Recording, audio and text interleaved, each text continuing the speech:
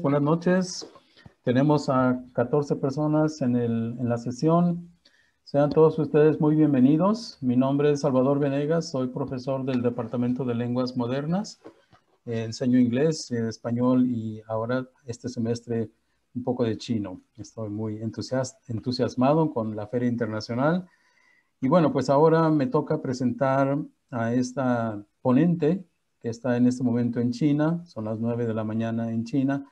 Su nombre es Tina Liao. Bueno, es su nombre en inglés.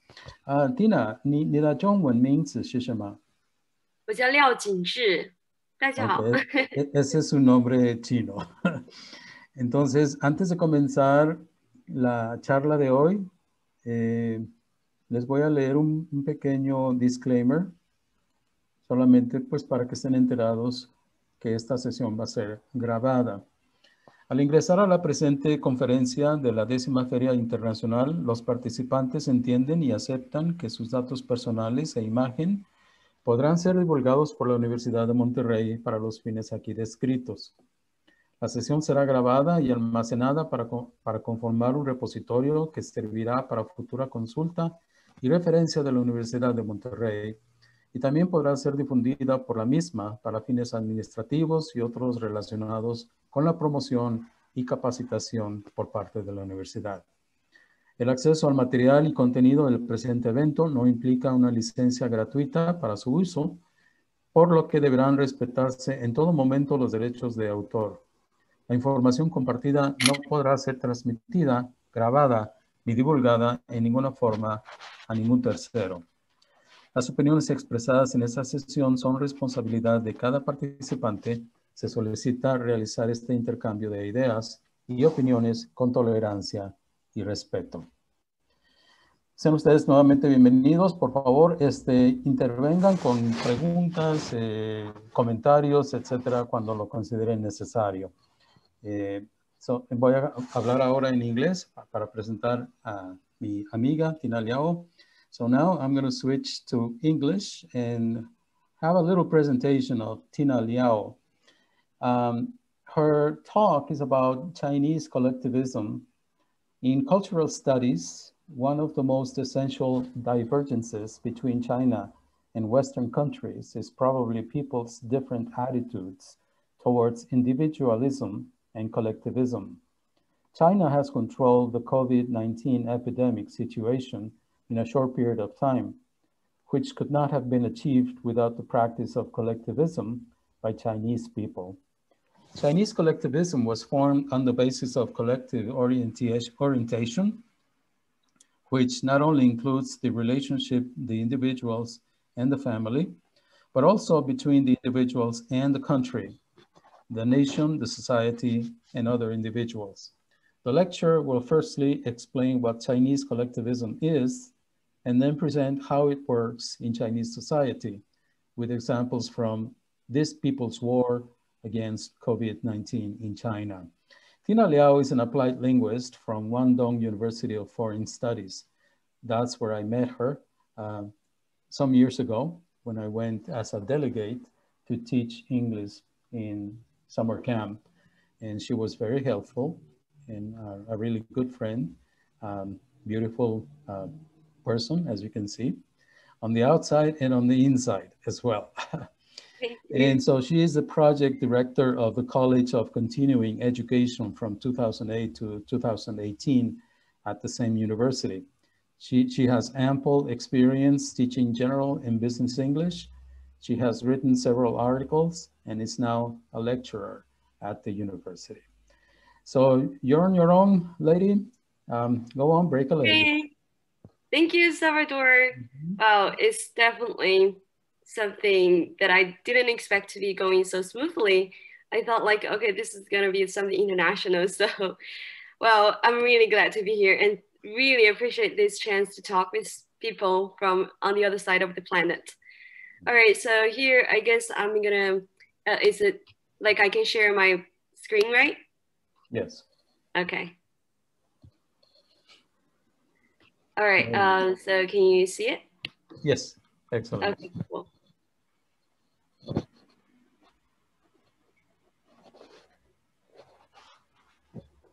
Okay, so uh, well, as I just said, I'm really happy to have the chance to talk to people from the other side of the planet, and definitely it's a valuable chance for me to share.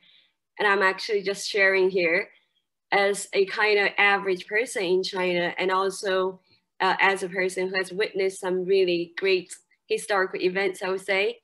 And this is some something related to culture. So I try to involve a little bit about my culture studies. And also I know that this is actually the Internet International Fair, yeah, uh, from Salvador's University. And I'm really uh, kind of feeling lucky to actually have this chance to become part of this whole international fair. Well, uh, just now Salvador has already introduced me, so I, I was like just to say a few words about my personal experience related to my work and all the things I'm interested in, things I'm doing. Uh, for now, I'm a teacher in the university and also Salvador mentioned I have been in charge of a few different projects. So the projects are usually related to some training programs, including the middle school students like in summer camps. That's when I met, you know, Salvador for the program in the summer. And also I did some corporate training, you know, since my major when I was studying for my master's was related to business English, uh, which is like a branch of the applied linguistics in my university. So in this way, I got a lot of chances to actually talk to different groups of people.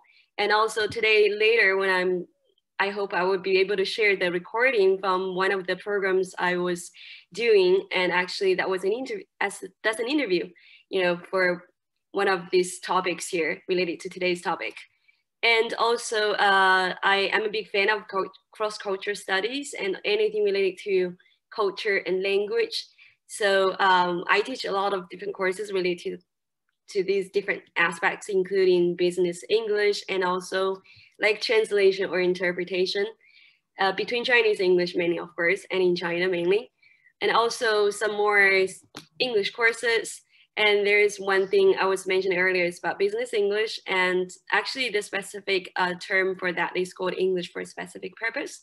So uh, maybe there are different kinds of companies which uh, need some services about English training, maybe related to like real estate English, which is a program I'm doing lately, and also some more different kinds. And also, uh, I'm a huge fan of traveling. I've been to 20 countries, over 40 cities around, you know, the whole world outside China mainly. So anytime when I'm traveling, I just um, I just definitely love to have some chances to exchange ideas and culture aspects with people from different countries and background. So that's why I said today is a kind of valuable chance. So because uh, because of the pandemic, we couldn't really travel easily. That's why we can do this internet, you know, conference or this kind of talk, which is a very, very helpful way actually and besides all that, I'm definitely um, open to a lot of different kinds of discussion, ideas related to anything about culture or even anything I'm interested, like traveling. So uh, that's all related to my personal information. And I'm really um, grateful to have this chance. And I guess it's time for us to begin. Okay, so if you have any questions, oh, by the way, this, I just forgot to show the logo of my university. Uh, if you had any chance to come to visit China, yeah, you are welcome to come to my university. I will be your guide and also will be your maybe a introducer to the country or culture here. And well, even if you wanted to learn Chinese, Salvador will be there introducing all that and also about Chinese culture. And he knows my university really well too. All right, and let's see. Uh, today my talk will be mainly of a few different parts, so I would like to give you a general picture. Uh, first of all, I would like to uh, involve a little bit about culture theories. Uh, this is going to be from one of the Dutch scholar called Hofstede's, you know, his theory about cultural dimensions. So one of the dimensions, which is I think the most important one I want to cover today is about individualism and collectivism. And also I will mention another three related dimensions related to also collectivism, I would say related to that. So that's why I want to mention that. So this is just the theory part, but I will also involve some aspects or specific examples in Chinese societies to show you a little better idea about the situation in China. And then uh, I will specifically focus on uh, the topic related to the, the pandemic COVID-19 fight in China. And I would say that this is uh, quite, let's say in some way could be a little bit helpful. Like people might have all these confusions or questions about how we actually manage to do all this.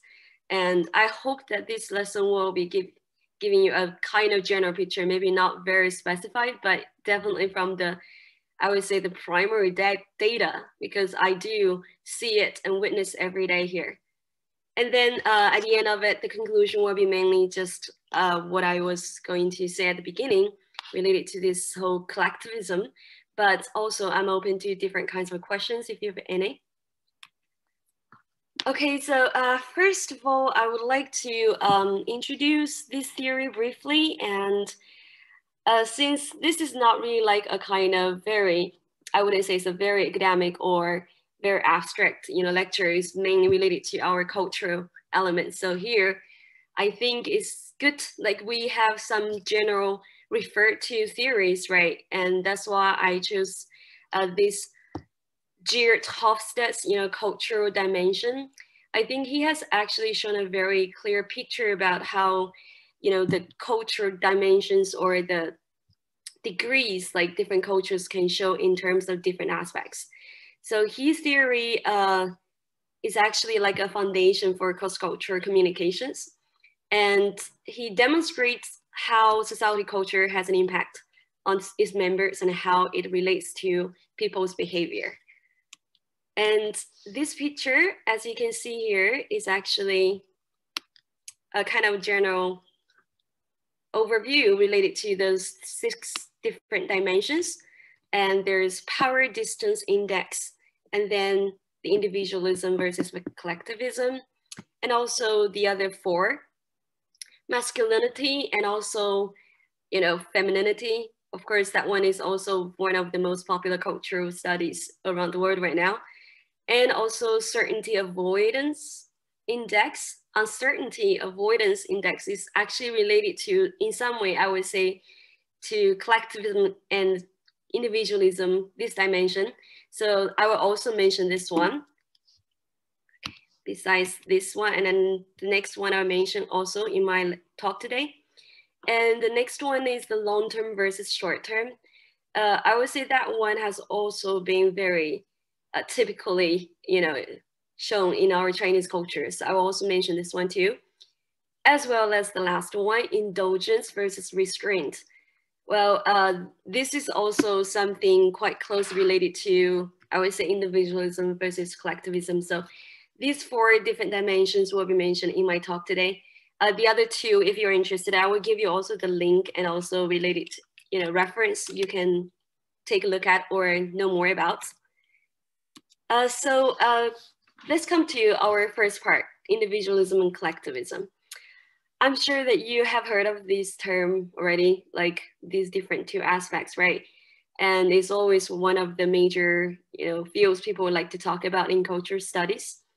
So uh, this dimension in Hofstede's culture dimension theory, it explores the extent, like the degree to which individuals in a society are integrated into a specific group.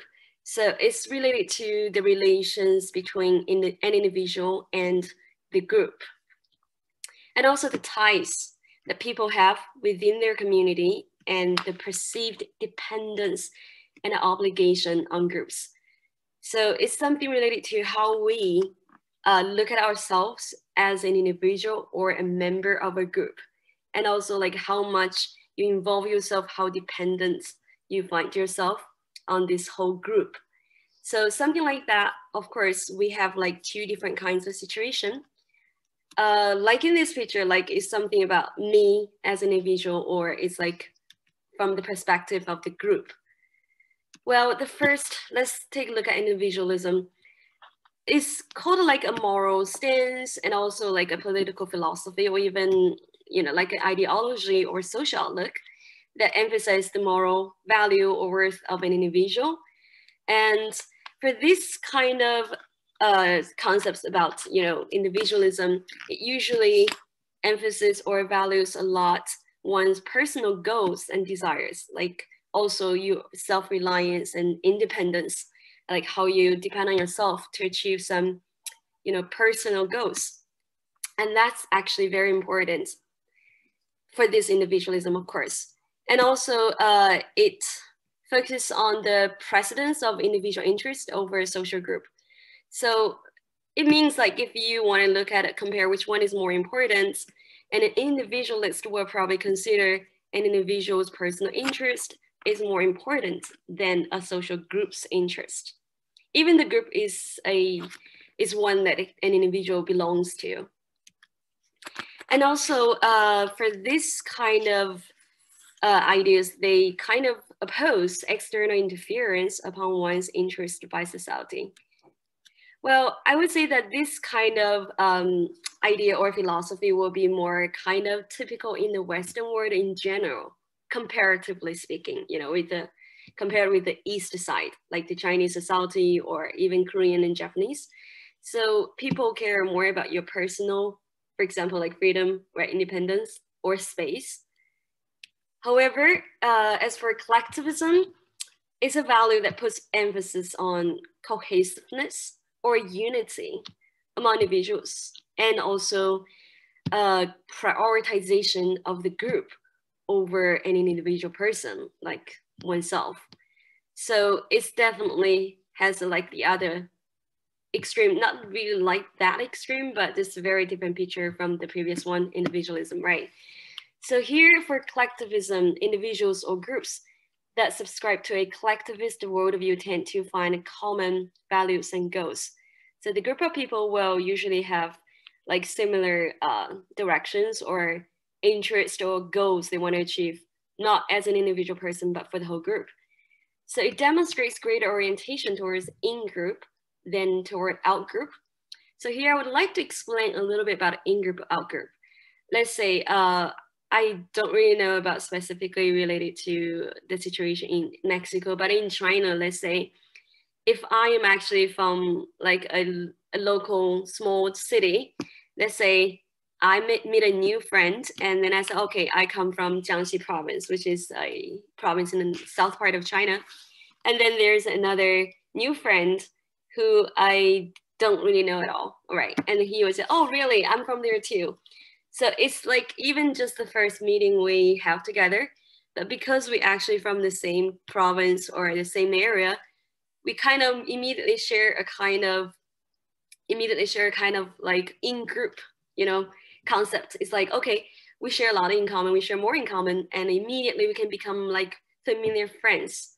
I mean, not always like that, but in general situation is just have this in-group and out-group concepts in China. And we might immediately develop some more kind of closer or better relations with someone if we notice like, okay, he's actually from my group or something, right? So that's also a very typical situation for the collectivist, you know, uh, society. And also, uh, it gives priority to a group or society rather than to individual interest, of course. Uh, for this kind of uh, collectivism, we definitely will look at the whole picture, like the whole group, instead of focusing on individual person's needs or desires. So everyone needs to do their best for the well-being of the society, of the group. All right, so this is like a very typical explanation, of course, related to collectivism. And also I would say that it has a very typical picture in Chinese society too. I would like to share a few photos with you the photo is actually from the Chinese society, very commonly seen. Like this is a party picture, you know, in China. Uh, I actually searched the picture related to a company's, we call it annual gala. Uh, it's like at the end of the year, people celebrate it to, yeah, to sometimes to just celebrate the New Year's or the ending of the year and also the fruit of the whole year. And then they would just hold a party and the party will involve a huge dinner together, a dinner party, and also some performance. And it's actually a very typical example of all the Chinese parties. It's not really like in Western country, you might like have a few people, right? Maybe one or two, no, one, okay, just two or three people, small groups together. But in China, we always sit around a big table and share the food and also share with the whole group, talking with the whole group. So the parties in China are just like that. We don't just do small groups, we do huge groups.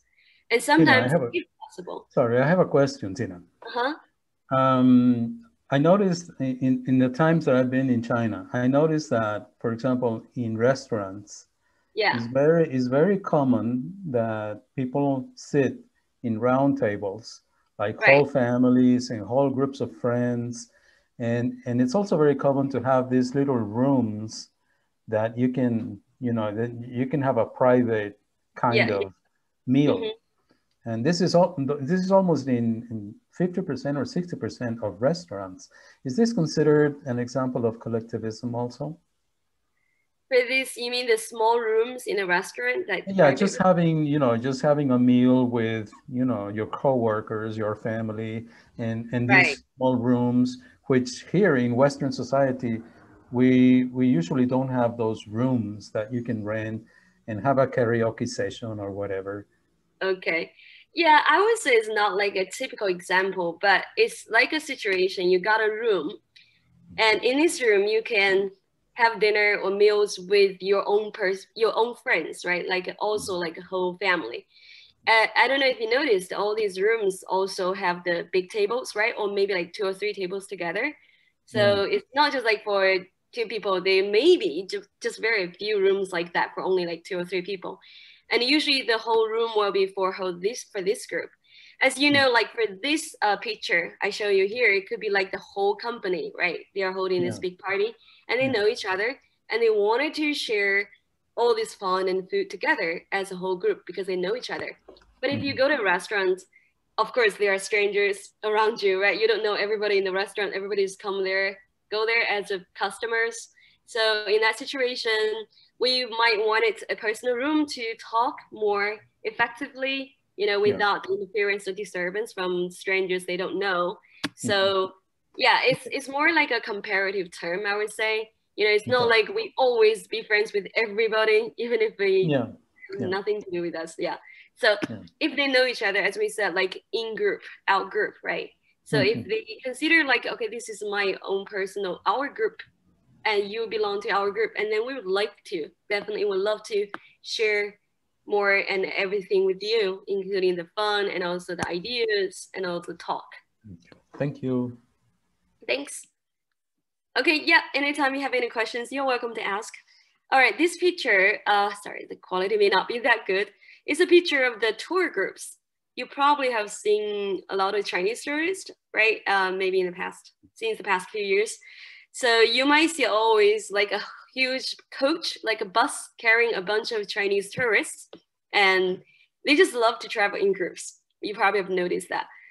And they definitely would like to go with a tour agency. And of course, the tour agency arrange everything for them, and they don't need to bother doing all that reservation and all that, you know, tickets booking. But um, yeah, in China, even inside China, people would like to take the group, you know, traveling this kind of style more than individual traveling because they think uh, not just because of the convenience, but also they would like to make friends with a group of people, especially if they know each other. They would like to travel in groups. So compared with other, you know, uh, countries, maybe I would say Chinese people love to more definitely love to travel more with the groups instead of individually or independently. Okay, so uh, there are a lot of more examples like that about collectivism. Well, later uh, when I involve the examples related to the pandemic, I would like to share more related to that. But before we come to that part, I also like to introduce a few other dimensions, which I think also kind of very typical situation in China too. It's about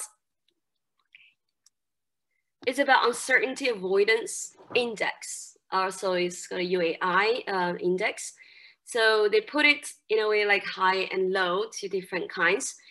About the uncertainty avoidance is about the tolerance level of society for uncertainty or vagueness. It's like how people deal with something, you know, they, they're not sure about or something they're not clear about. And for those low, um, the, the index, right, is for the, those low UAI uh, societies, they tend to accept different kinds of opinions and thoughts you know, ideas or that can be diversified in this kind of society. And also comparatively, they might have some sort of lax regulations and rules. Let's say lax is more like it's not really strictly implemented or enforced. You can have certain flexibility there. So yeah, it, it tends to be not so strict. I mean, the rules and the regulations.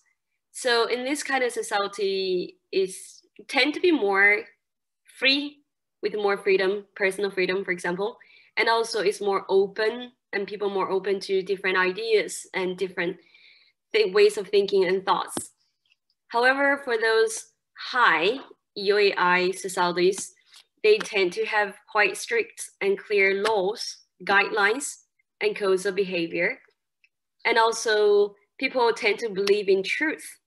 They may not want to just discuss a lot of you know, abstract or unpredictable things. They might want to just like look at the facts and that's the thing we need to follow.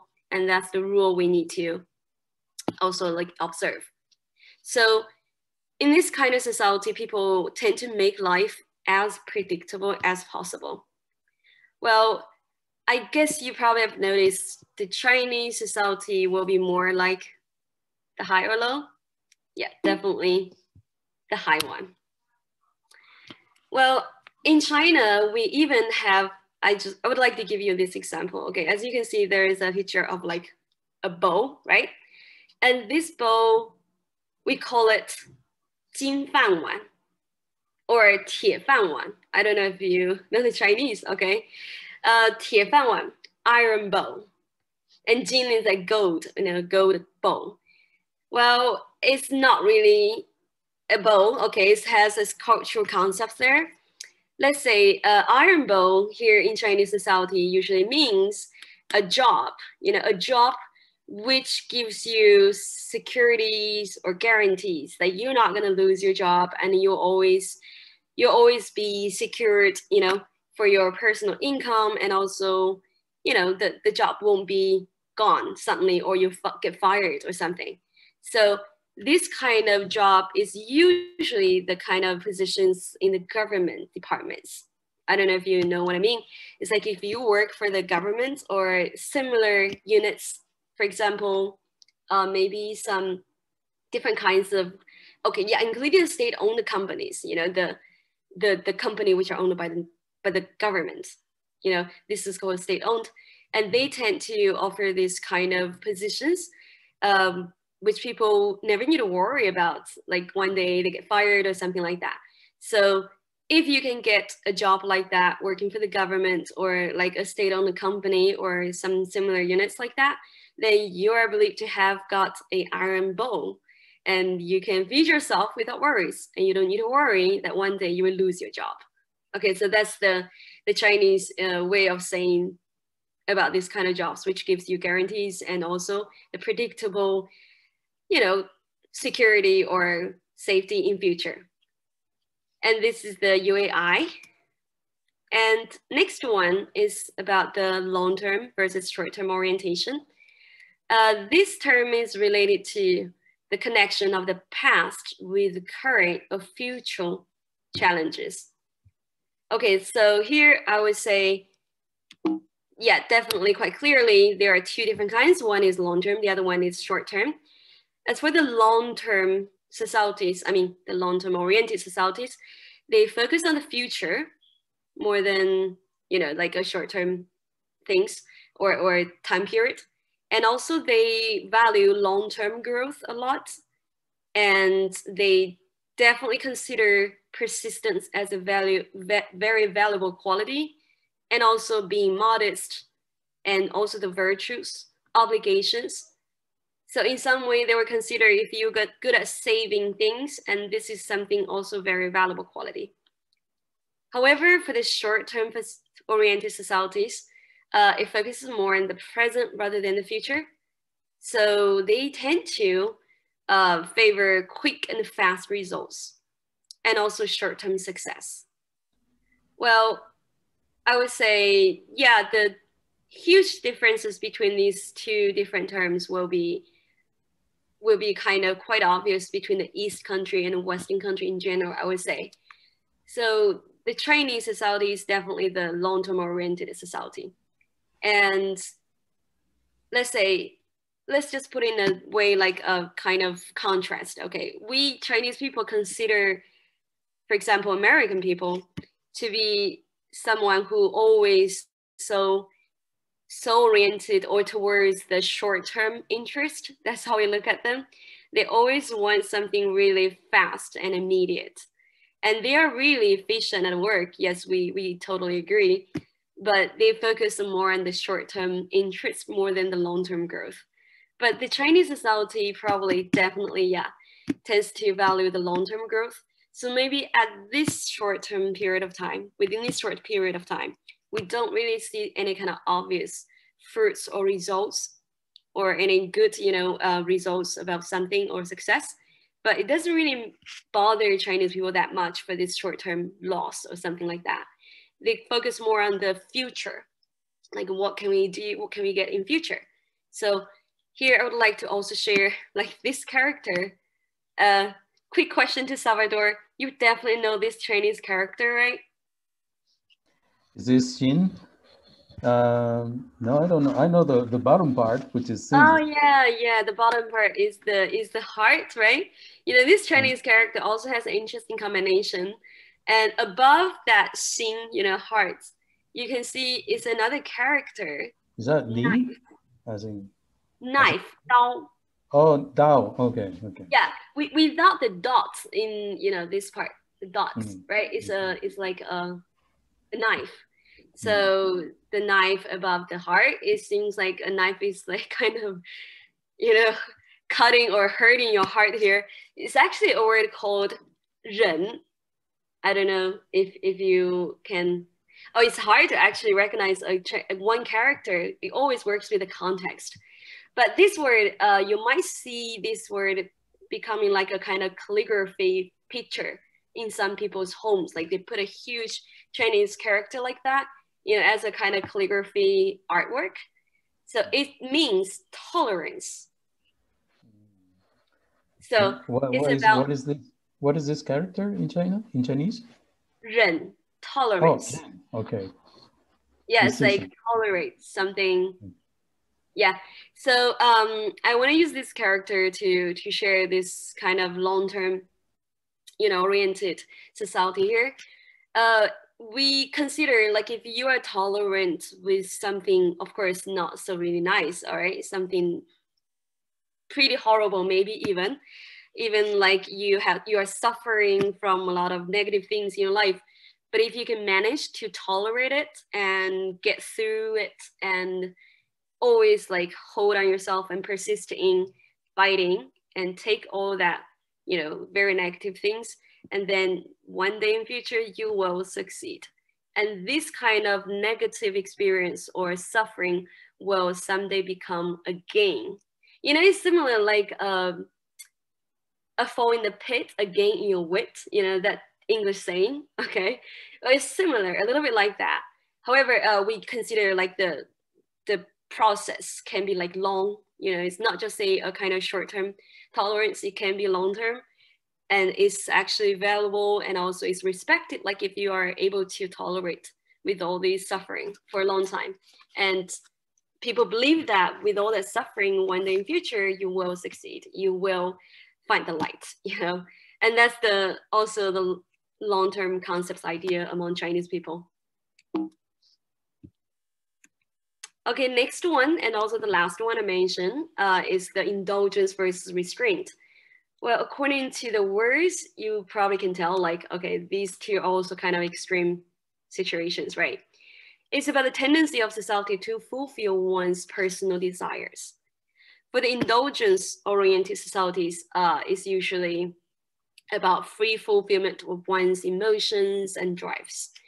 Like you have to satisfy your personal needs, right? So that's why I mentioned, I mean, this, as you can see earlier when we talk about individualism, is kind of related to this kind of uh, tendency, right? This kind of trend. So that's why I said, you know, we probably need to mention this one too.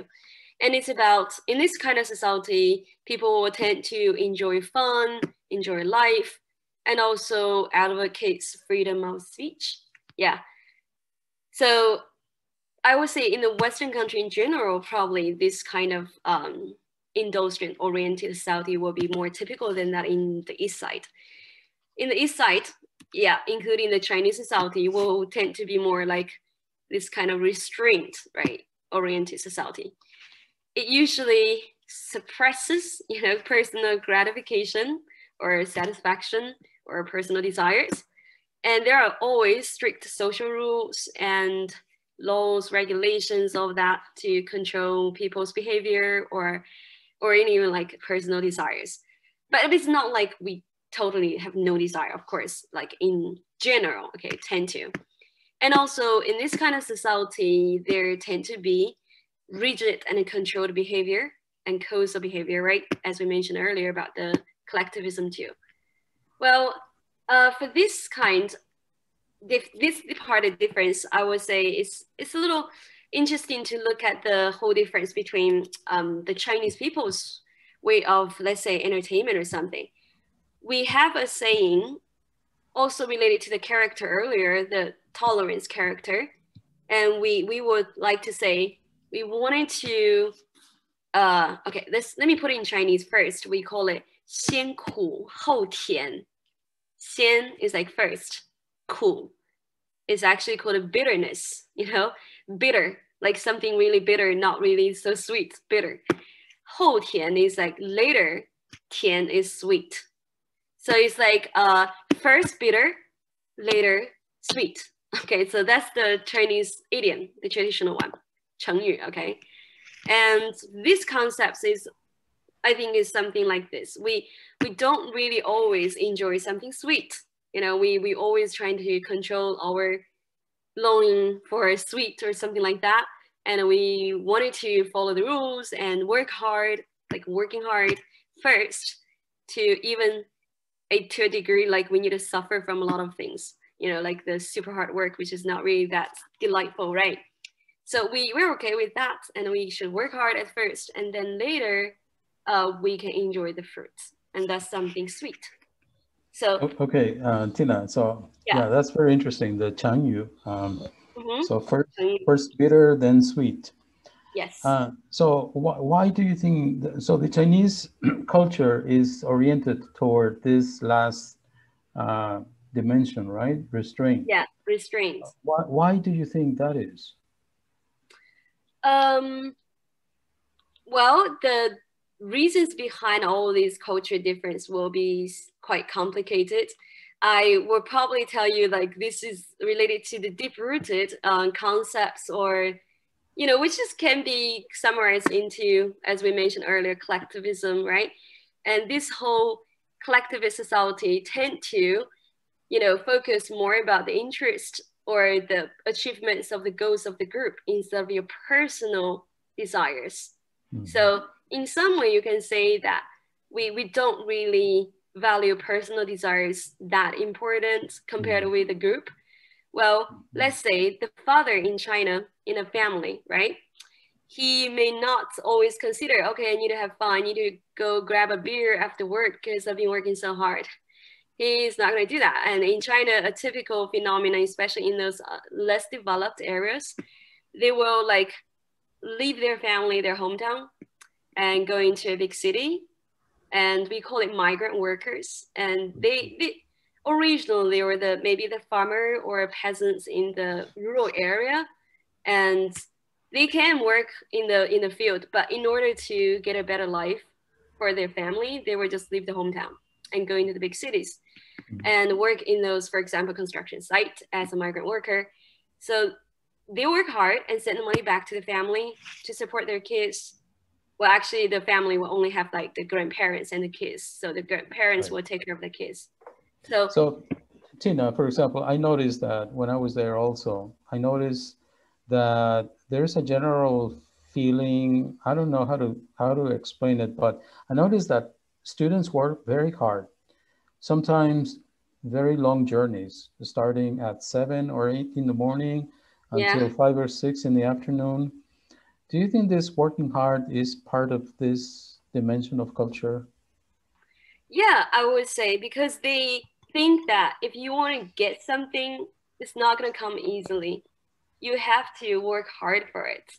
You have to like suffer from a lot of boredom, maybe, you know, from the from the study and including like those people, the, the parents, you know, who work in a very, maybe a very stressful job, you know, they, they, they can go through all that just in order to one day, maybe his family can live a better life.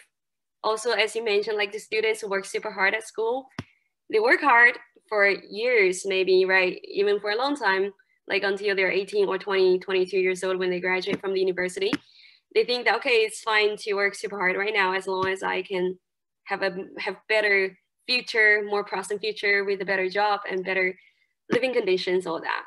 So this is a kind of also quite traditional belief, like we, we just need to work hard for something and the something can be sweet, but before that happen, we need to put in our efforts, which can be quite bitter, not so fun, you know?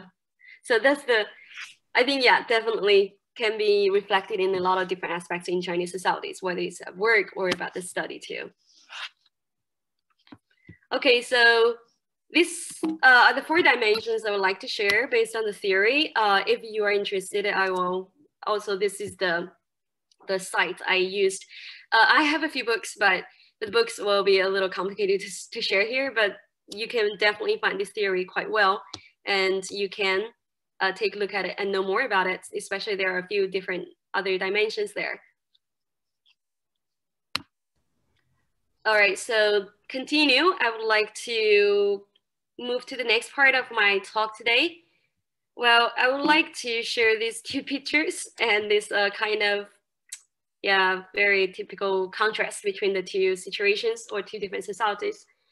Well, um, I want to involve this topic because we are still going through it. And really, as, as a person who talked to a lot of friends from different countries, including the USA, I feel quite sad to see the situation of the pandemic, you know, COVID-19. And it's kind of getting super serious. And I really hope that this can end very soon. I know it's not easy to end very soon, but, and sometimes I would say, uh, if, if my my talk today can actually, you know, give you a tiny bit of idea about what people do here, and then maybe in some way, you know, a little bit helpful for other countries to overcome this this really bad, you know, virus situation. Well, you can see the two pictures here. I would say that the first picture is in from the USA, right? And they say my freedom, personal freedom does not end where your fear begins. Well, I look at the picture, I don't think I'm qualified to criticize this kind of thing. I totally understand that. You know, they focus on their personal freedom, as we mentioned earlier, as an individualist society. You care about your personal freedom. Yes, there's nothing wrong about that. And I also agree with that. Well, this is something we don't really see much in China, I guess, you know, definitely we don't see that, especially during this pandemic. Well, in China, you might see the picture on the right side. Well, if they say, okay, um, not just say, they say even like anytime, especially at the very beginning when the, when the outbreak is still happening in China, right, early this year, we people have no questioning about all these rules about social distancing, wearing masks, all that. And you will see people totally follow the rules. And it's like, there's no questioning about that at all. And we don't really think that at this moment, our personal freedom is that important well believe me i had some struggles too like you know in back in my hometown we also kind of like this whole uh we we call it compound or 小区 is like a kind of small neighborhood. We we just close the doors and people cannot really enter or exit easily. And yeah we in some way lose the freedom not completely though we can still go out to buy stuff. But uh, we don't really think that's a something we, we cannot really take or anything so it's a very big difference between those two different societies, I would say. And here I would also like to, um, yeah, share with you about this report related to the Chinese society uh, in controlling this COVID-19 epidemic. It's actually from a German media. Uh, I forgot to put the name here. I forgot exactly the name. It was just uh, a German media it made a summary about how China managed to control this epidemic, right, in China, inside China, while the other countries are right now suffering. and they concluded that there are four things that China has done. Okay, it's not from me, by the way, it's from that report. All right. It says uh, it's because of the immediate response, large tests, large scale tests, right? And also contact tra tracking, tracing, and also the quarantine measures are quite strict. So that's the first thing um, they listed. And the second one is the limits of cross-border entry. Well, if you want to enter China now, you might have to go through a lot of different procedures, actually not so easy. But it's not like completely uh, closed. The borders is still open, but just not really that open anymore, not so easy to enter anymore. I guess it's the situation for a lot of countries. But comparatively, I would say China might have stricter, you know, this kind of entry allowance. And also the tests and quarantine measures are always quite uh, strictly enforced at the airport, at the border. And we have specially uh, quarantined hotels for those people who enter China and also all other related you know, procedures. Also, uh, the third one mentions the efficient large test, large scale test system. It specified that one, which is slightly different from the first one. The first one is more related to the immediate response, about the time response. And also uh, the third one is about the large scale test system. Well, this example will be um, the city, I don't know if you heard it from the news, the city is called Qingdao in China. And the whole city, uh, which involves uh, millions of people, of course, 11 million tests of the whole city in Qingdao was finished in only a few days. Well, uh, the time limit is also important here. If you like wait for a long time, then the, the effect of the testing, the result of the testing won't be, you know, enough significance anymore because people might get reinfected again, right? If the time is too long. So the time is quite short and, and we do have all these related facilities and all the equipments available to do all these large scale tests. And it happens all the time, you know, in China, as long as there's any kind of uh, new cases or because not because of the the local um, transmission or anything. It's more related to some uh, imported cases or some imported even products. You know, they found some virus at the frozen food, imported frozen food. Yeah, and some workers there got infected, and then well, if they show the symptom later, and then a lot of people will be tested, and even the whole society, the whole city. Right, that's the third one. And the fourth one, it says it's about people's trust in the government and voluntary cooperation. Well, uh, I'm actually a little bit surprised, like uh, Western media will actually report it in that way. Well, which is the truth. It's more true even among the Chinese people here.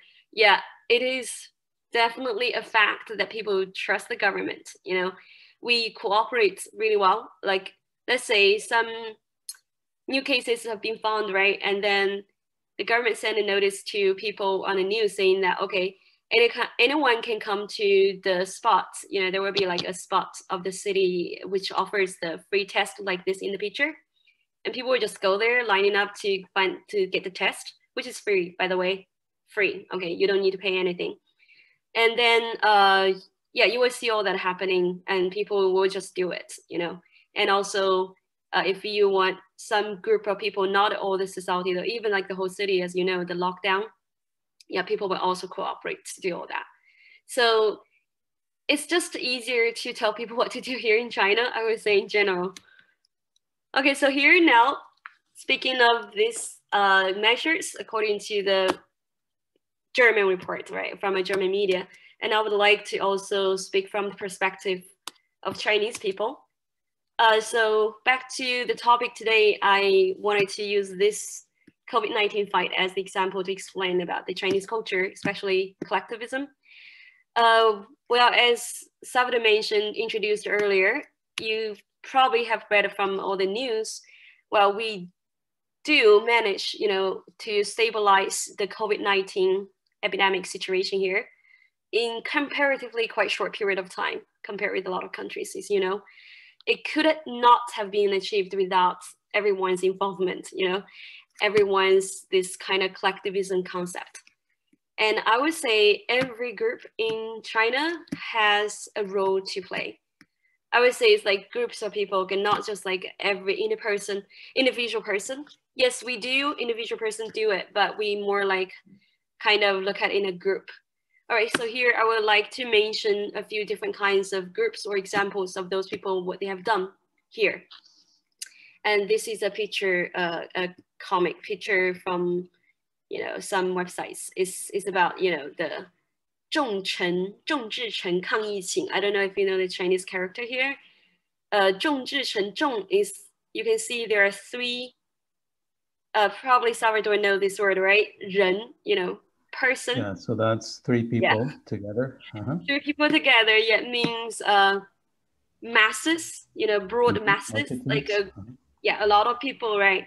So a lot of people uh, have this intention. 志 is is like the the target, the purpose, and we will make the target happen.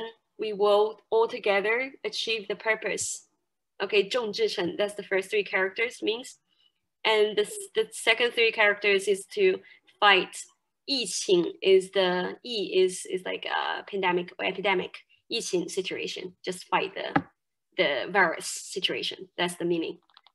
Okay, and also you can see that here there are a lot of different, you know, roles, right? You can see this is a doctor, maybe this is a nurse, right? Doctor, and this is some people working like maybe a soldier or something, and this is the policeman or security guards. Okay, so uh, with this, I would like to share with you different roles, okay, in our society who have involved themselves or put effort into the fight. Uh, first of all, I have to, yeah, it's definitely a must to mention the central government's guidance, the whole, let's say like the central command. You know, they have the ability to mobilize different sources nationwide. And you can see those photos. Uh, I don't know if you have read any news in China. Okay, let's see. I don't know if you can. You can see my mouse, right? This picture. Yes. Yes. Okay. This picture is a is a rewarding ceremony, a national, very big national event uh, in the middle of this year. Okay. And this is the president in China, as you can see. And four of those people, they're the ones who has won the who has won the honorable title. Yeah, the heroes. We call them the heroes. And Yingxiong. In this picture, you can see those two characters, Yingxiong. And they're the national heroes, we call them. And yeah, as you can see, they're doctors, yeah, experts. And this woman, she's now the person uh, in the leading position in developing the vaccine, the COVID-19 vaccine.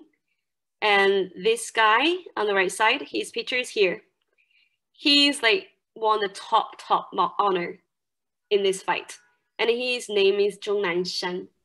Well, if you don't really know about him, you probably know uh, Dr. Fauci in the US, right? And we call them, uh, he's like the Dr. Fauci in the US. And, but uh, yeah, we, we call them the Chinese hero. Like he's 84 years old this year, but you can see he looks quite young. And he's a, a doctor expert too in the uh, yeah, those, um, how do you call it? Contagious disease control, that kind of, you know, uh, special academic fields.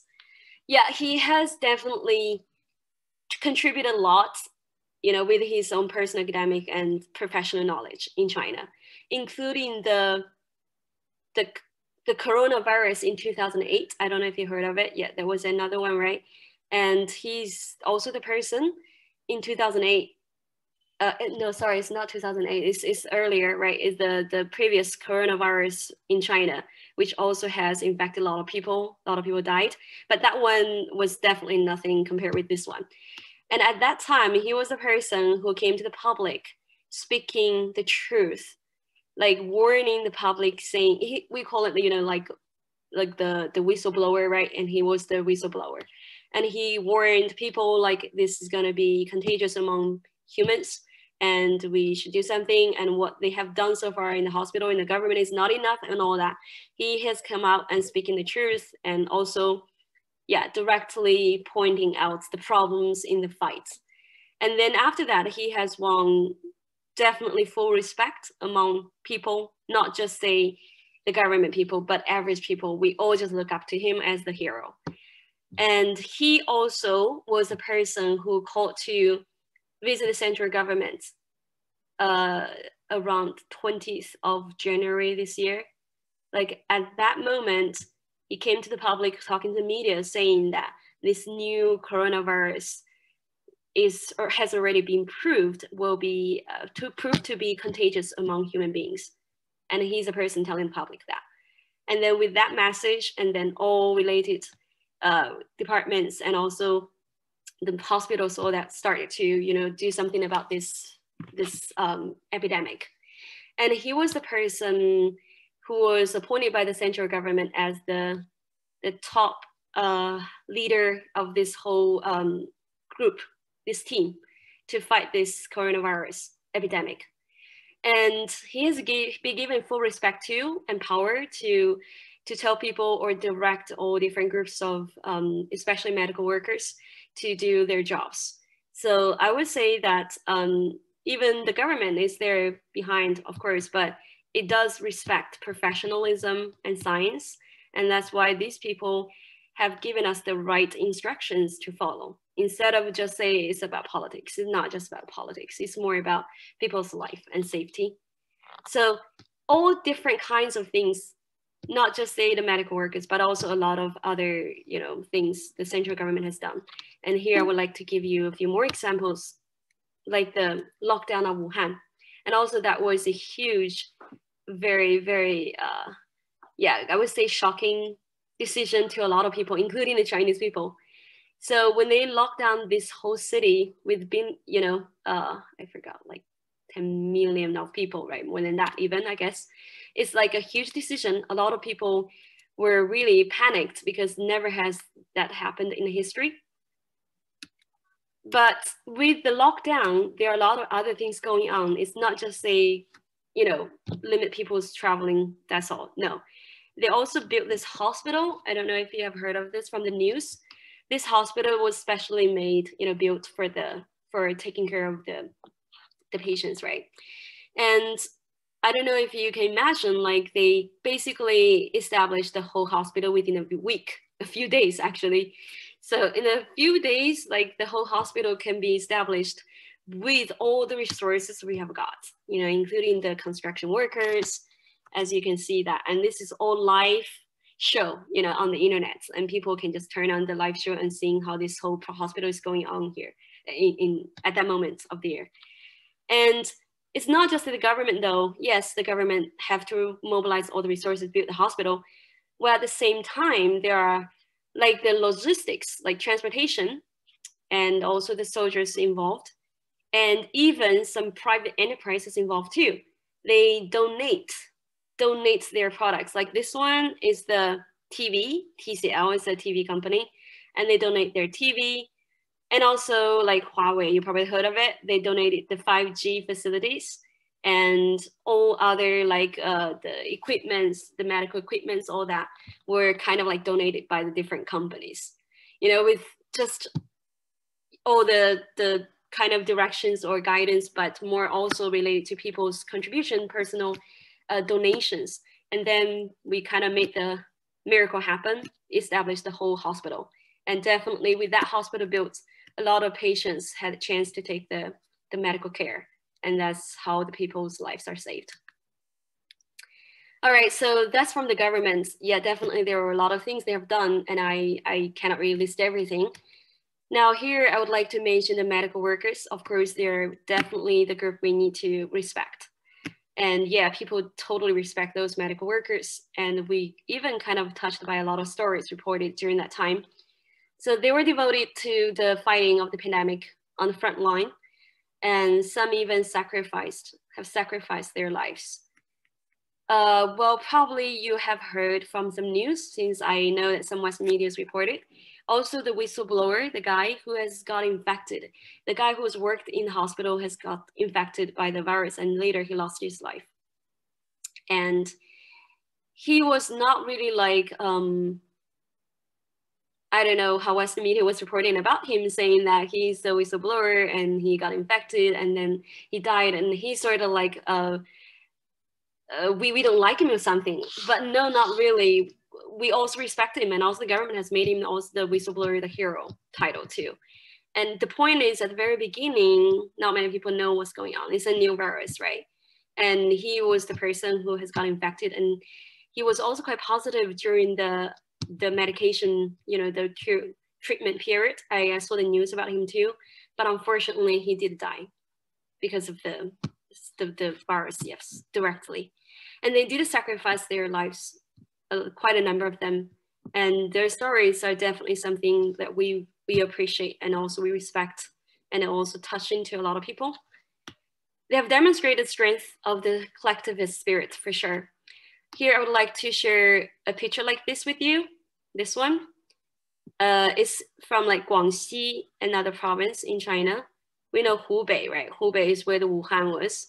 So they sent the fourth group to fight, to help fight the virus.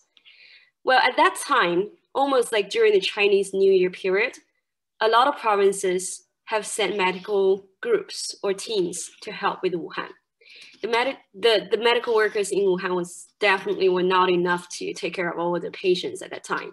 So a lot of other provinces sent their the medical groups there to help them, including the new built hospital, right? They, all the workers there are actually from different parts of the country.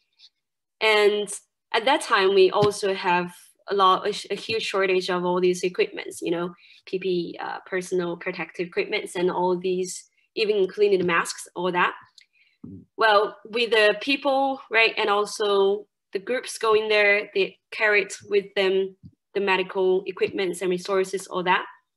So they went there and, and managed to help fight the, the virus.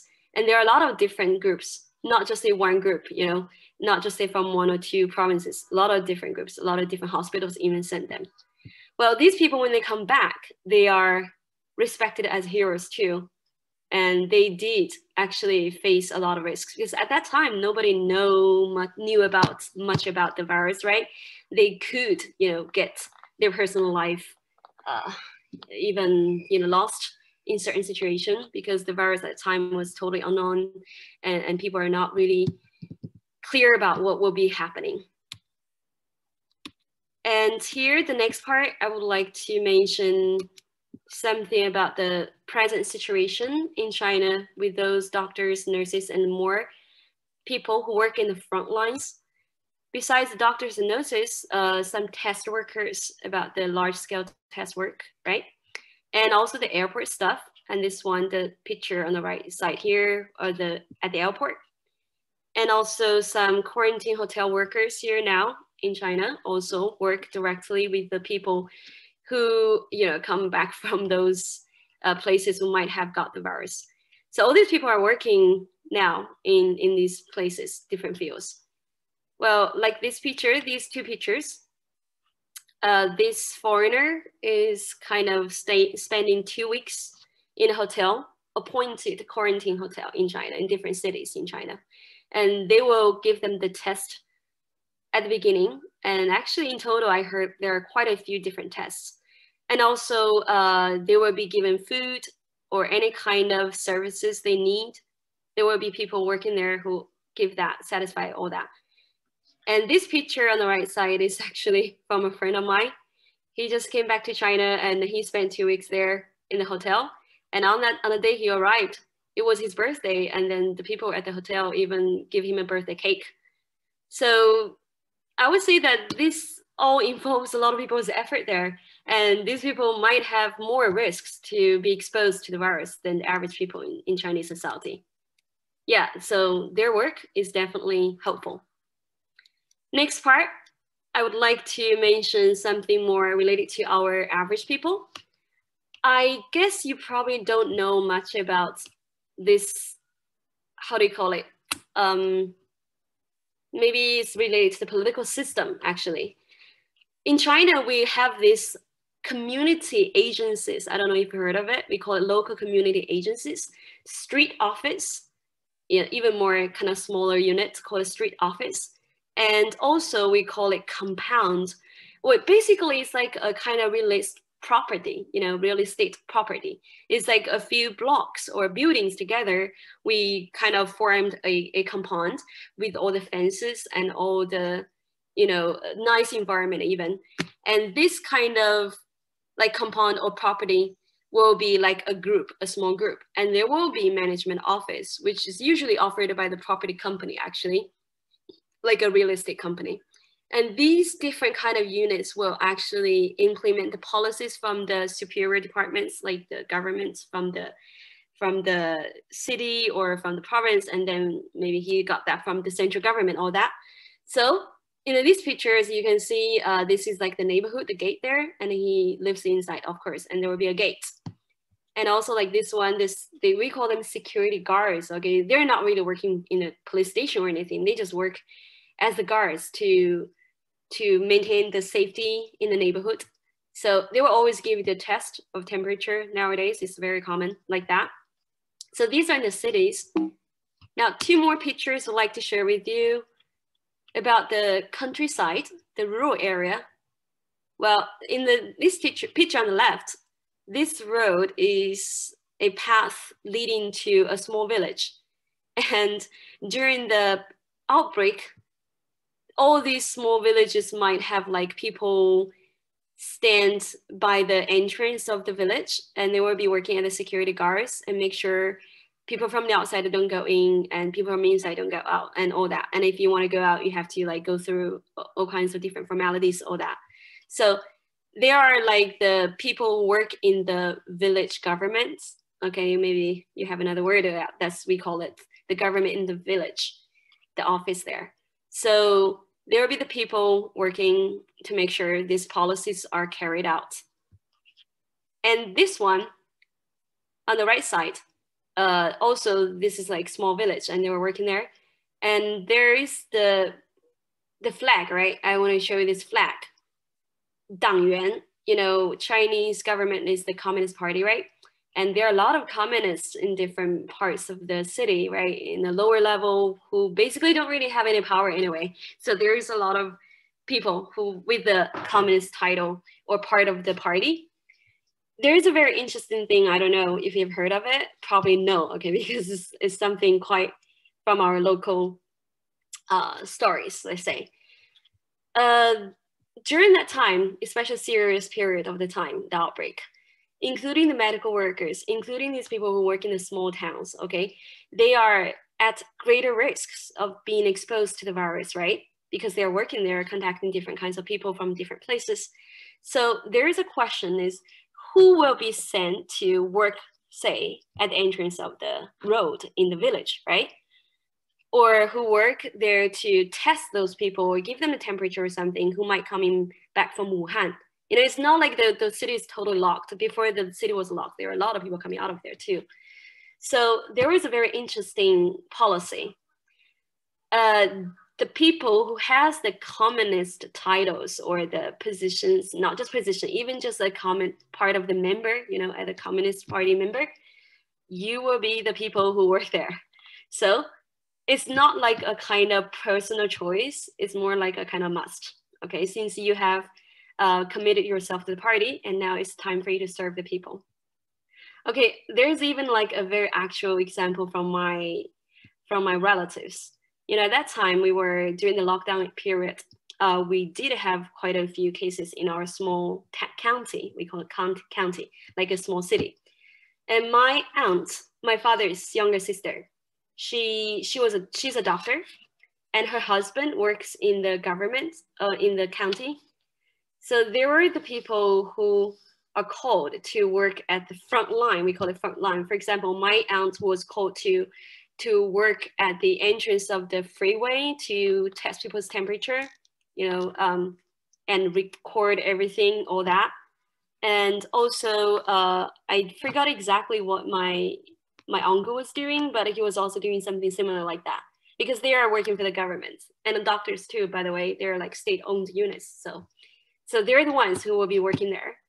And you have no idea, like at that moment, definitely this group of people have done a lot, you know, all this detailed small work, which may not seem like a huge thing, but but they have been the people who's actually implementing the policy. So this is the situation at the moment. Um, a lot of this group, this huge group of people, they have done all this detailed daily work, and they have in some way definitely guaranteed the safety of average people. And next one, I would like to also mention uh, average people's daily, you know, stuff. for example, uh, we didn't use a lot of internet to order food, order something, or buy something. And here on the left side, some pictures about those we call it delivery people. So this is a kind of very uh, popular position right now in China, kind of job, you know. A lot of people work in these delivery companies, like those yellow suit guys, we call them. And they're the ones who deliver your food within 30 minutes like you use an app online, yeah, on your phone to order something, and then they will deliver it within 30 seconds. Okay, uh, so 30 minutes, sorry. And usually they will charge you like about less than a dollar for the delivery fee. You know, that's what the situation is like in China. I would say that um, how can we actually manage to live a life, a quarantine life, in a kind of acceptable way? We cannot really live without those delivery people. They have really done a lot to facilitate people's daily issues and including the shopping, including you know all these necessities they need for their daily life. And also uh, the online lesson, like what we're doing now, is something also quite common, but now it's getting less because we are back to normal and we go to school. But in the past, the kids, we spent like a whole semester studying at home and also teaching at home. And this picture I would like to share is about also average people's life is like. Like this picture is is a picture about those quarantine life in a family and people find their own entertainment way. And this is now uh, like the school's like, and all the kids wearing masks, and there is like a kind of rule, a strict rule you have to follow. And this picture is about uh, let's say this woman probably is going through a quarantine because of visiting some places maybe. If they cannot really buy stuff there are community service people that will offer them the service of helping them to buy stuff you know like sending them the supplies and foods all that. So the, the whole community have all these different groups of people who's there offering the necessary help. And last picture here i use this picture to kind of share with you a little bit related to how how those people in Wuhan was like during the beginning of this at the beginning of this outbreak. And as I mentioned earlier, I did have a kind of um, lesson right related to this topic about culture studies and also this pandemic a week ago. And that was a group training actually. It's from a unit, a company, I guess, and one of the people, the students I was talking to was actually from Wuhan. And she shared with us some stories about her her personal experience during the beginning of the, the beginning parts of the outbreak here. I would like to share this recording with you if I can. Let me see how can I do it.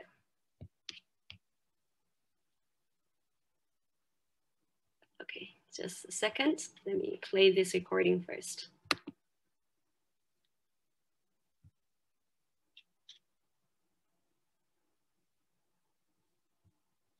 at uh,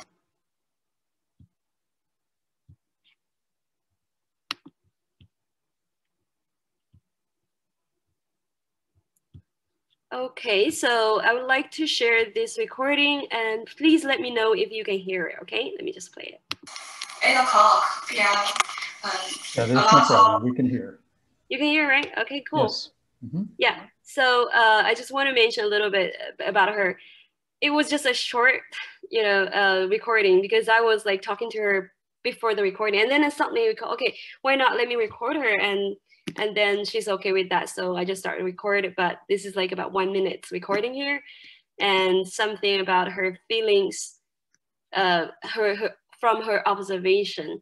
And a few things I need to mention when she was mentioning about the, or maybe let me just play it first and I just let you listen first.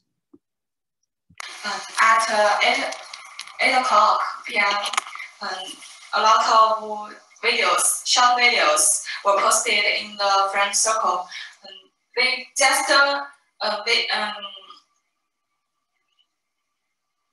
they just shout out and crying like uh, cheer up China, cheer up Wuhan, and then they started to sing the national anthem.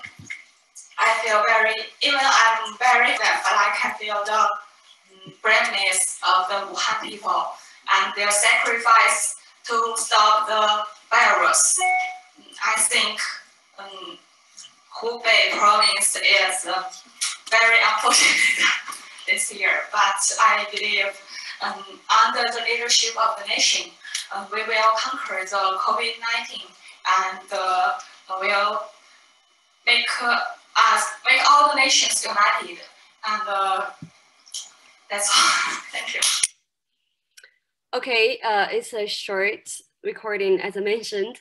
So uh, she was say talking about what she saw from we we call it uh, friends moment. Oh no, friend circles in in a Chinese media called a WeChat. Like we we share a lot of our daily stuff with the pictures of videos or or just words, you know, on, on the social media with friends, like what, what is happening, or they're just like a daily diary. It's a little bit related like Facebook, you know, and, and we just record our daily stuff. And she was saying that she saw all that from the, the WeChat moments, we call it moments, you know, like the friends, friends circles. And I think that she was really kind of, um, you know, how they call it. When I was talking to her, when she, at the beginning, you might hear a little bit voice, um, unclear voice there. She was about kind of like crying when she was saying about that. So she was really the person who was experienced that period of the moment. And she was mentioning a few words like getting united and all that. And she heard people saying that we we should we should cheer up, we should stay positive. You know, that's that's what you meant, what she meant. And I think uh, from this talk, you probably can imagine during that period of time, people just have all these very complicated thoughts like fear mainly, and also disappointments about you know well, why this is happening again. Like it's not the first time we go through the virus, and again we have to face this, and it's a new one. Even so much uncertainty. You know, as we mentioned about the uncertainty, people were just really kind of panicked, and but the the part we probably can notice from the recording is not just her, but a lot of people at the moment were kind of thinking like, okay, we should you unite our our strength together to do this, you know, to fight this virus. And as you heard, like she even mentioned that people were singing the national anthem, you know, voluntarily and just trying to do something, you know, in their own way to to whether cheer people up or to give people more courage or something like that. So um, just a bit of sharing about my interview with one of my students who who's from Wuhan, who has witnessed what has happened at the very beginning. I think that this picture, back to, uh, let's see, back to my PowerPoint.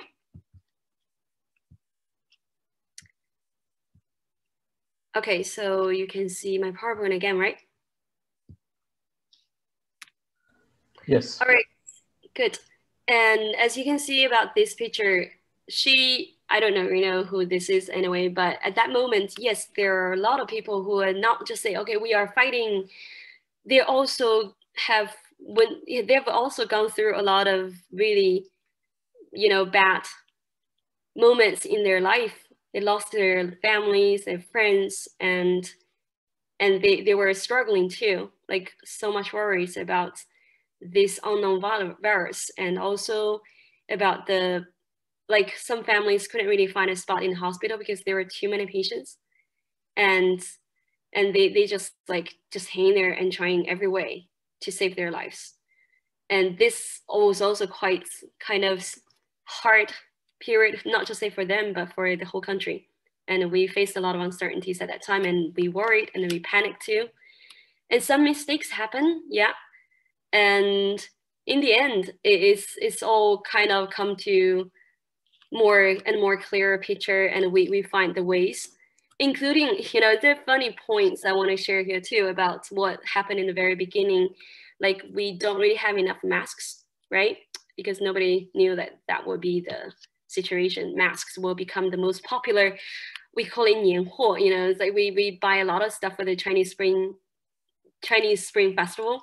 But in the end we never know that the mask became the most popular one. So at that time, uh, interesting example, like there was this, uh, this small city, maybe not that small though, like actually one of the major cities in Kunming, uh, in, in Guang. yeah, Guangxi. No, no, sorry, Yunnan, in Yunnan. And it was um, not far from, it was somewhere in the west southwest of China. And there was this city, uh, the government in that city kind of stopped a truck carrying the masks sending to Wuhan. Because at that time, every places, every city were trying to get the masks, right? Because that was the thing which can protect you. And the government of the city stopped the truck and get the masks out of from that, yeah, from the truck. And it was reported because at that time nobody was knowing like okay uh, what, what we should do and something they just try every way to get the masks and the supplies all that. And the government did make that decision. And then the media reported it. And not in a nice way you know we don't always just say everything is perfect in china in the media. We do criticize stuff too. And we the media reported in china and the government also reported that i mean not reported that have also revealed that was the truth and what happened is the central government immediately sent this this decision, like the, the people in the government in that city was was fired. You know, they just taken off their titles and they lost their job. Actually, at, the, at that period of the time, there were many similar cases like that, including those people who work in the government in Wuhan. They were fired and also they were punished and a lot of things like that. And I guess like for media, we never know all this going on. Wow. So anyway, yeah, it, it uh, Bettina, we're, we're running out of time. Um, oh, so. sorry. It's just like too much sharing. Okay. Okay, okay so okay.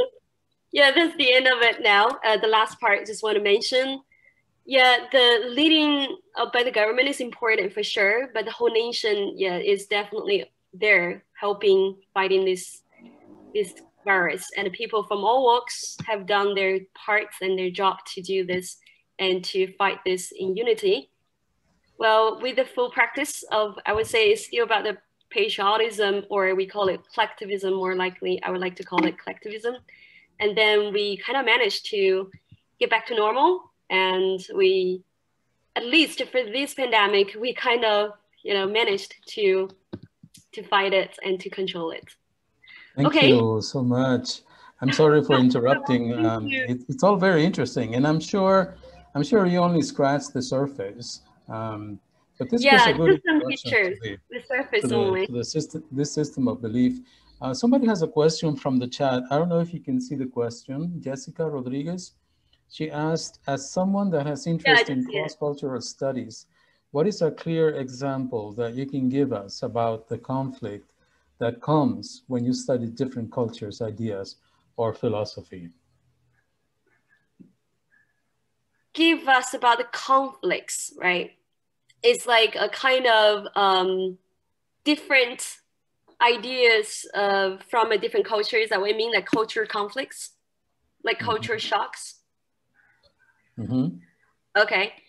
Uh, I would say, okay, just let me just check this again. Okay, uh, let's say I have traveled to some places and also I have I have talked to a lot of foreigners in China too. And there are a lot of we call it culture shock, right? And also the yeah, even conflicts like we we might have when we deal with people from a different background or different culture backgrounds. Let's say uh, there will be kind of okay, just an example about the cultural conflicts, right? Okay, let's say the China, the, the foreigners in China might probably consider uh, the way that we do things, like we we don't really criticize the government or something like that, right? And and they would just say, okay, we are kind of brainwashed or something. Maybe they, they were considering that way. But as I just mentioned earlier, if you look at those culture dimensions, I wouldn't say it's just about brainwash or anything, okay? It's more like we don't really have so much different ideas or so much so active in, in a very different way of thinking. We tend to think like within a group, like we think as a kind of in-group idea, not like a, so much focus on the individual different ideas. So maybe I would say that's a kind of uh, conflicts when it comes to about speech freedom or something, you know, among a lot of lot of people or people who don't know much about Chinese society. It is it's some way we cannot say we have all the freedom of speech or anything, but maybe in the end, if, even if you give him the, the rights to, to criticize or anything, they don't really have anything to criticize. They probably don't really have all that, you know, personal different, very divergent views. Okay, so I was just to think of this kind of example. I don't know if that answered the questions. Yeah, um, but in general, the Chinese are very tolerant uh, about yeah, foreigners, the foreigners' cultures, aren't they? Aren't they? Well, let's say um, Chinese will look at the foreign culture in a way that they they might have something different from ours, but it's not like we just hate it. Okay, there's also very interesting culture difference I, I just thought of, like the attitude towards new things. And I cannot say exactly what the reason or the cause is, but you might see that in China, people actually tend to accept new and fresh things more easily. You know, we, we are more open to to like a like for example new technology or devices and even you look if you come to china you might see all the different kinds of weird shape of buildings like like we, we do have this tendency we call it collectivism we have this in-group or, or out-group concepts but when it comes to some new or different things actually people are pretty tolerant and also they tend to open open their mind and accept it more easily yeah, I, have also read something about like uh, a culture study, like some foreigner noticed that too. They're more open and more easily accept some mm. new and fresh things in China. And I think we can go on and on talking all night. Yeah, uh, there's a couple more. There's a couple more questions, interesting questions. One by okay. Luis Muñeco. Uh, you see the questions? Yeah, I see the second one. I've always known that Japanese culture is considered to be very collectivist culture to a point where they consider company they work for as part of their own family. Is there a similar feeling in Chinese work culture? Yeah, I would say tend to be like that. You know, if we work in in a company or in a group, we probably can develop more complex and different relations with the co-workers okay let's just put it in this way let's say uh, quite a number of my good friends actually my workers so we don't just say, okay, we are here just to work, you know, to make money or something. And we we also like a group as friends. Even some of them can be like as close as like, you know, close friends or even family. You know, they have this we call a sense of belonging. You know, they belong to the group and they, they belong to the company or the units they're working for with the same target, with same goal. Yeah, it is a similar situation in that China in China too. Okay, and lastly, one last question, which is very interesting um, by an anonymous person here. Can you read it? Yeah. What's the situation like in China right now? Is it all back to normal already? I think there, I think it would be very interesting to compare now more individualist culture in the fight against COVID in comparison the collective culture, not just China. Yeah, I I would say right. That's that's one of the reasons I picked uh, collectivism because I'm more representing China here, and in Chinese society tend to tend to be more collectivist. So if you wanted to see what is exactly going on in the West country in general, uh, I wouldn't say I'm a fully qualified, I, even though I do talk to friends from other cultures, from other countries. It seems to me, uh, okay, you can still hear me, right? Yes, yes. Oh, okay. It seems to me that right now in the West country, because this individualism is definitely more obvious and stronger than over collectivism. So people care more about their personal freedom, personal rights, right? And they may not consider like what they do have certain effects on on other people, other people as a group, as a society. So that's why in general you might see that Chinese people are much more cooperative because they think for others like as a group. Like they don't want to be the person who destroy the whole group let's say they come back from another country in China, they will not go out there saying, that, oh, you cannot lock me down and I want my personal freedom. Uh, they will just say, okay, I don't want to spread the virus. I don't want to hurt my family. I don't want to hurt my friends because of the virus or even unintentionally, you know, it's in mm-hmm. general, it's just more like at this moment for this pandemic, we in some way need the collectivism more badly than individualism, I might say in this way. Mm-hmm. Mm-hmm. I totally understand.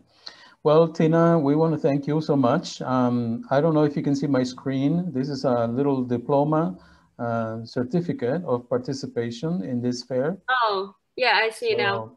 I, I've emailed it to you already. So oh, thank, thank, you so you. much. Thank you so much. We're so grateful. Um, wonderful thank introduction you. to collectivism.